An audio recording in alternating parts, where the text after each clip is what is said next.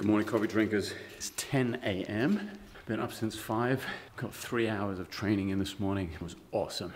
Now I'm running to meet Chelsea at the storage unit. We're gonna get all of my stuff out and hopefully not have to deal with any more break-ins ever again. They are being super unhelpful at the storage unit with resolving any of these issues. And seeing as Chelsea and I are moving soon anyway, makes sense to get all this stuff out. Chelsea has been a super trooper helping me today. She's amazing. Not something I look forward to ever, like moving stuff. Oh, that- is that my color? Mm-hmm. this is the only vlogging I'm doing of this because this is going to be utterly mental. But all of this shit is finding a new home in her basement only for a few weeks. We are mm-hmm. so excited to be moving. Yeah, that's a, that's an excited smile.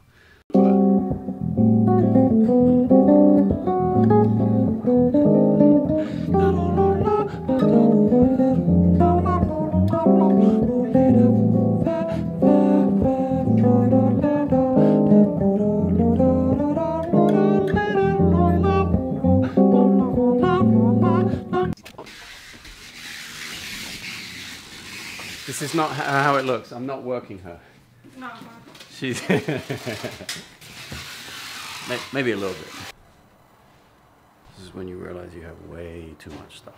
Although Chelsea is being quite encouraging in terms of like this box getting getting unpacked when we move in together. Maybe I'll actually see some CDs that I own and DVDs. A Branford Marsalis DVD and a Steps Ahead or so. I don't know. Gonna be some weird stuff in there that I haven't listened to in a long time. Five hours later, all the stuff is out. No more dealing with extra space storage. I highly recommend staying away from all storage units if you are a musician. I've said this a bunch before. Um, if you guys have been following, you know that I had tons of stuff stolen, about $10,000 worth of stuff stolen, which I think is never going to be recovered, unfortunately. And you live and learn, and I will live, learn, and inform, just like I'm sure Brian Bella does, who, who also had a really bad experience with basses and instruments in a in a storage unit, public storage unit. So no more storage for musicians. Maybe if it's some like old clothes and books and stuff that aren't worth stealing, I I guess, but it's done. The episode is closed. Glad to be moving on. Chelsea was incredible today. Like, that was really like five hours. I mean, we stopped for lunch in the middle, which was awesome, but it was a big slog. Four carloads of stuff, packing it all up in her house for now. Countdown to the move is on. And now, having got all my gym and training in this morning between 6 a.m. and 9 a.m., which was really great, now I get to go back to the Paganini.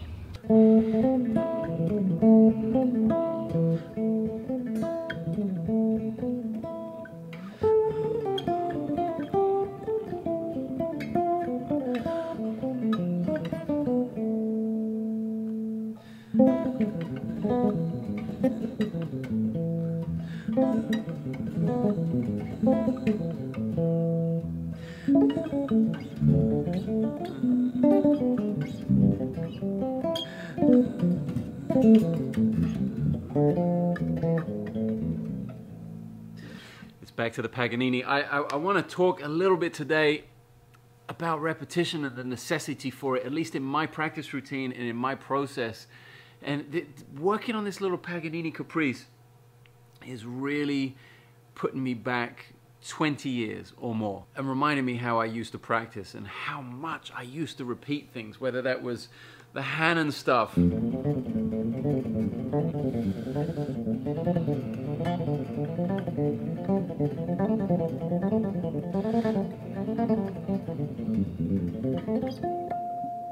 kind of stuff and, and the exercises that I kind of developed from the Hanon, like all, all the all the things that were in all the good stuff, basically, like that kind of mode of practicing. But it doesn't doesn't matter what it was. Pat Metheny transcription, Keith Jarrett transcription, Michael Brecker, Hanon, uh, Paganini. It was just so much repetition to put that in the muscle memory, and it is so much fun to get back to that. I think that's been really lacking in my playing like the last few months, maybe the last six months or so.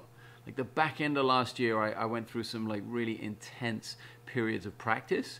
Um, then I took some weeks off around Christmas and New Year, and then I've kind of been practicing quite a bit this year, I think, but not like this, not like really conscious about dialing in specific notes. Um,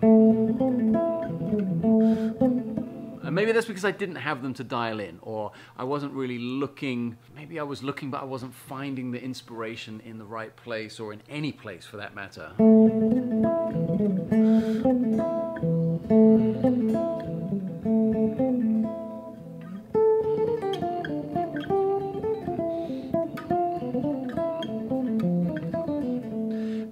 Just been I've been sitting here for about an hour now before I started like when I got home and before I started shooting the vlog here. I've been sitting here for about an hour just repeating the first kind of half of this, especially this thing which I still don't have under my fingers which tells me repetition is really really needed.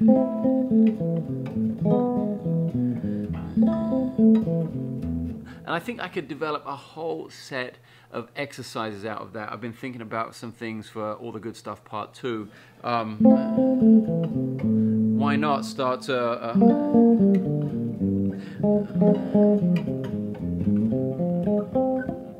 you know, new ornaments, different ways of thinking about playing arpeggios and different ways of articulating uh, things around the instrument and taking that influence of the classical music and specifically this Paganini classical violin thing. That could be huge. It's already been huge between yesterday and today for my playing. So I know if I can get that kind of boiled down to a few keys that I can explain in the book and, and make them into, into a really accessible exercise for, for people to check out, I think they could do a lot of good for people's playing. Just based on the fact that in 24 hours it's done a ton of good for my playing. My chops haven't felt in such good shape and literally just a few hours yesterday and an hour today and working on this very kind of focused idea, very specific idea. Wow, it feels good. It really does. And I feel like I put something in the looper. In fact, let me put that in again. Um,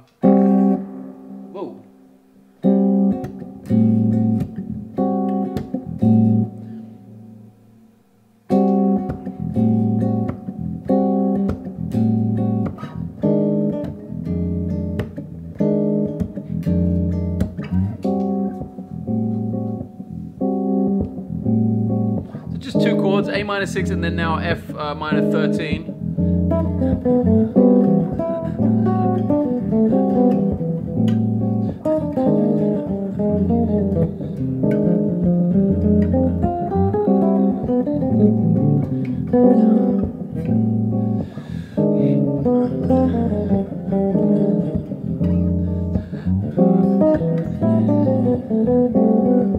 And trying to use a little bit of that vocabulary from the Paganini.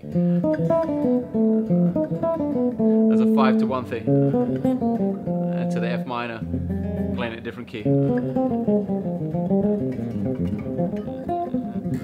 And you see what I mean? Like it, it, feels a little more fluid now. Those ideas under my fingers those uh, very classical sounding very simple uh, ideas arpeggiated ideas with with no tensions in them kind of nailing this stuff now and I'm feeling more in control of my vibrato and my dynamic range uh, in terms of expression. Just what, what a massive breakthrough. And I'm really happy to be able to share that in real time and the development of it as well because it's not just like yesterday I get a Paganini thing for the sake of making a vlog and woohoo Paganini it's really complicated and it's hard to play and woohoo look at me. No not at all I just happen to come across that because I like it, and that's not a one-time deal. That's not a, a clickbait or, a, or a, thing just to fill the space with. That's actually part of my process. And that, you're gonna see, I give you fair warning, you're gonna see that will be a part of my process as long as I keep doing a little bit of practicing in the vlog every day. You'll see that kind of develop over the course of this week, and that's really how it works. I like to take an idea and run with it as long as possible. As long as it's inspiring me, I will continue to run with it. And it's not the vlog kind of dictating like, okay, today I need a new idea. Uh, it's whatever I'm doing that's dictating the vlog. So I, I, I, hope you know that. I'm sure you do. I just wanted to, to, to make that super clear as to what the process is and, and why I'm working on these things right now.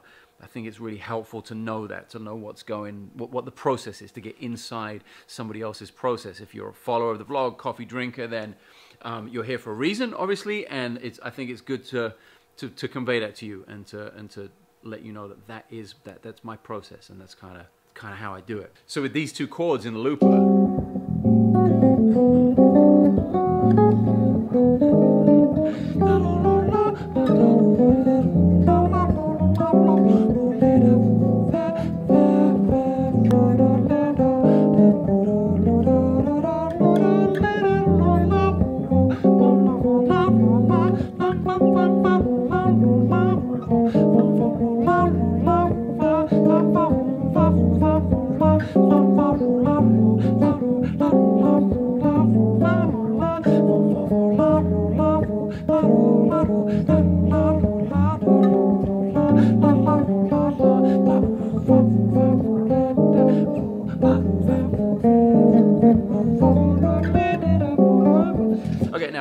go transcribe what I just played, like developing those ideas. I hope you heard the development of the idea, both harmonically, melodically, and rhythmically. You're going to notice a few patterns and a few shapes and a few motifs recurring. This is probably the first time I've ever done this. Is highly recommend that you transcribe something that I just played. But I actually feel like, because I really don't recommend transcribing bass players, no one. But I really do feel like I kind of nailed the idea in that last little thing and really follow through with the concept. I was really just descending through the harmony as the chords changed, and you'll see the shapes I was using, this fifth and this minor third, and how I navigated through to hit chord tones, to hit scale tones. It'd be interesting. I'm not going to explain it verbally now. If you're if you're into it, if that's if you're looking for something to work on, I would highly recommend very strange for me to say this, but highly recommend going and transcribing a little bit of what I just played and seeing how I connected those two chords and moved between chord tones and, and scale degrees. And I think most importantly to me, how many of those degrees of each scale I was using for each chord were connected and they, they, were, they were common tones between both chords. Because if I can find something, I can hear something that works on both chords, it's a great way to, to kind of arrive home in some way, like that feeling of getting out and coming back and being able to do that with the same notes on two different chords is really useful. So finding what those one, two, sometimes three notes are can be a huge key to navigating through, through difficult changes. So today, just know that the Paganini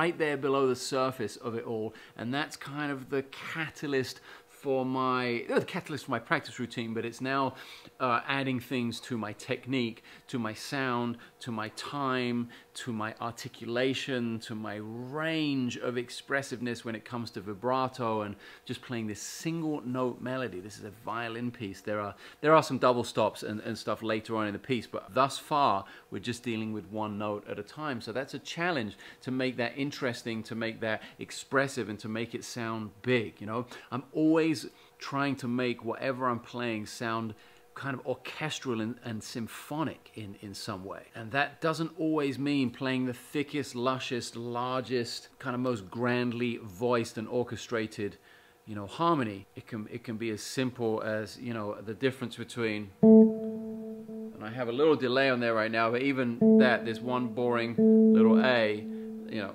with, with no expression to,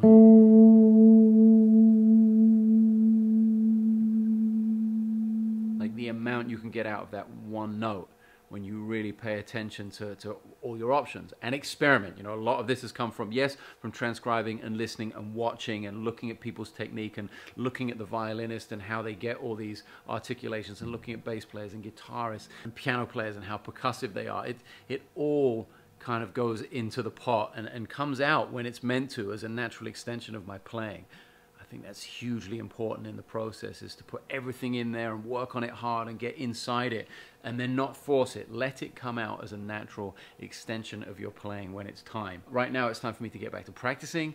Uh, I think I'm to go with the two chord loop for now. I've spent like a couple of hours on, on Paganini today and it's, it's seeping out. I, I can't explain the feeling. It's just a, a, a, sense of direction and the sense of having found something that I can grab hold of and, and beat to death for a few days and get, really get something out of it. So uh, today's vlog is done.